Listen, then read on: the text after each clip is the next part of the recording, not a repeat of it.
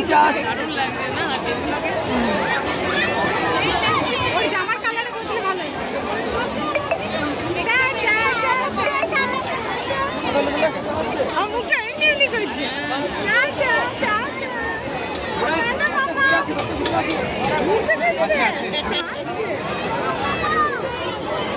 ওর থেকে ওর বাবা বেশি আনন্দ হয়েছে।